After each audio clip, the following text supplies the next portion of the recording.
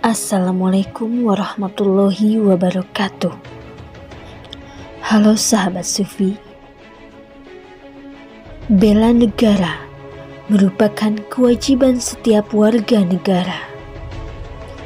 Namun, seperti apa aktualisasi warga negara dalam kewajiban bela negara? Selama ini, Materi pendidikan bela negara menjelaskan soal ancaman, tantangan, hambatan, dan gangguan terhadap NKRI. Di zaman serba digital ini, sejatinya musuh negara semakin tidak kasat mata.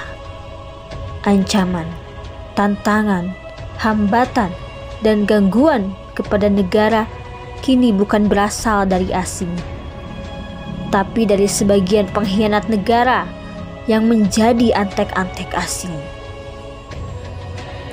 Mereka menelusup di birokrasi negara dan diam-diam mengabdi kepada kepentingan asing lewat ekonomi, politik, hukum, dan sosial.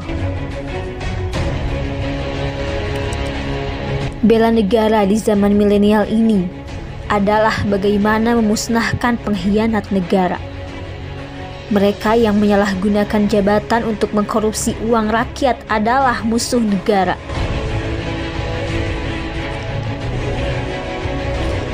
Korupsi telah merusak sendi pembangunan dan merusak harmoni kehidupan bernegara. Bagaimana bisa mereka berbahagia dengan korupsi, sementara ada jutaan warga negara yang hidup serba kesusahan? Bansos pun digarong ramai-ramai BPJS diembat, Asabri disikat, dan kekayaan alam dikeruk.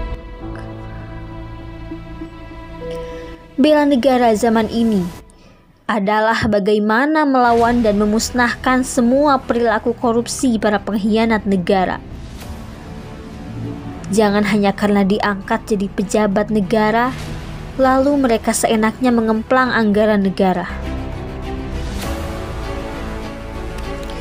Bela negara saat ini adalah menyelamatkan negara dari perilaku jahat musuh negara. Dan musuh negara itu kini berkuasa penuh mengendalikan kekuasaan. Di mana rasa patriotisme mereka yang kini jadi penguasa negara?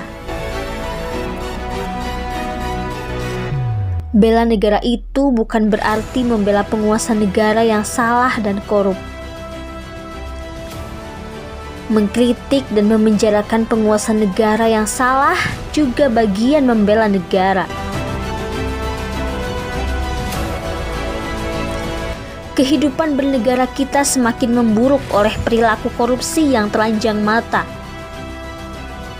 Pelakunya bukan orang biasa, tapi mereka yang berada di panggung kekuasaan.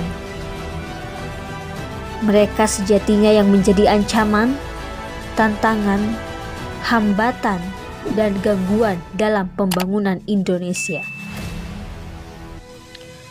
Wallahu alam bisawab. Wassalamualaikum warahmatullahi wabarakatuh.